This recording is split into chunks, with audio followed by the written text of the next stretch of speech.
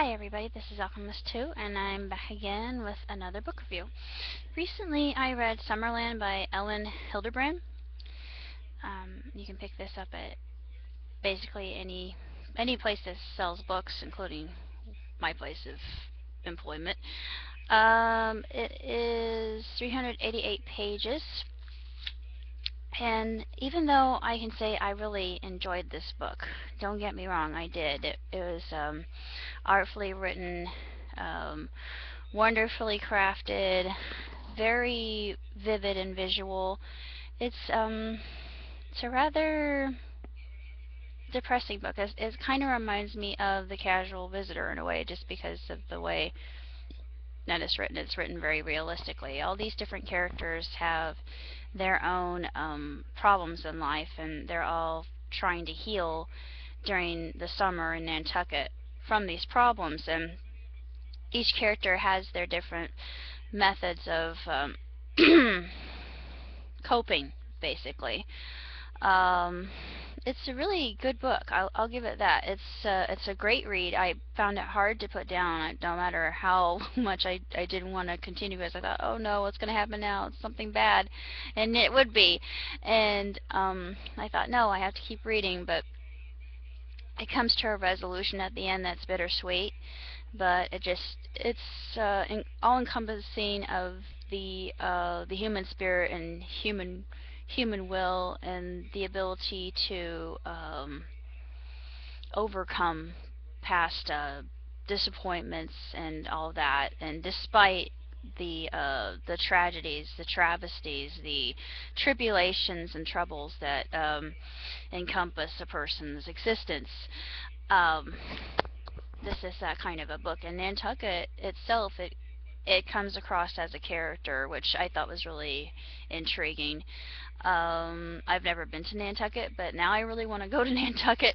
Um, she has a, a book coming out in the future, and there's an excerpt after the uh, reading guide and the topics for discussion.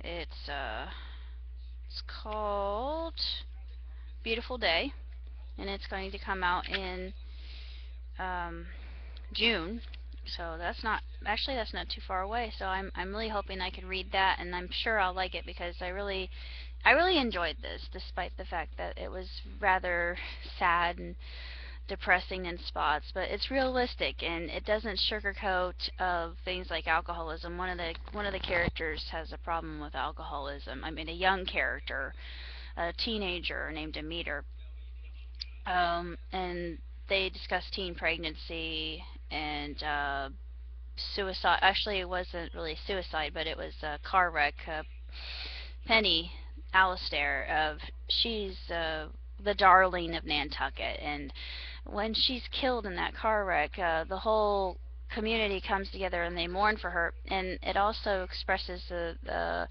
the ups and downs of living in a small town, which you know I can relate to because I've uh, been living in a small town since I was a little girl. And yes, everybody's your neighbor, everybody cares for you, but everybody knows everybody else's business. So it's um, um, a compilation of the good, the bad, and, and the ugly all at once.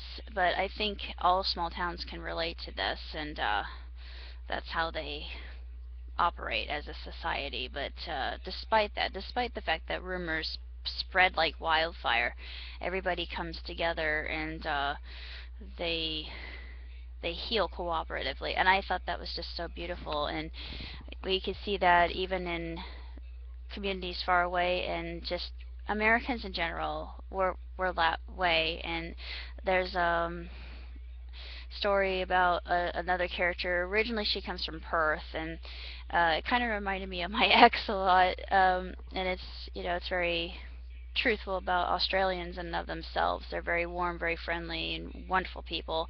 I'm hoping one day I can actually go there and um, visit, even though I'm, I don't know if he would uh, appreciate a visit from me or not. I, I mean, I'm hoping that we're still friends. I mean, I I hardly hear from him anymore, and uh, I, I don't want to cry about it, but um, I I hate being the the dumper. Yes, I know. I I I hurt him, and I didn't really mean to. And it was a long distance relationship, and uh, it wasn't going to work out. But anyway, I just I hope that he and I are still friends despite all that, and um, I would give him this book because it's very accurate about Australia and how they how they see life and just how um, marvelous they are as as uh, human beings and how tough they are. And I I really respect the Aussies, and I'm just hopeful that I can go there and have a chance of meeting him in person, even though I don't know if I would be completely welcome or not.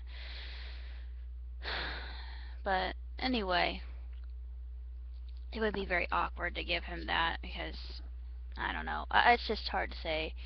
It's just relationships are complicated. Needless to say, and sorry, I didn't mean to cry. That's what this book is about as well.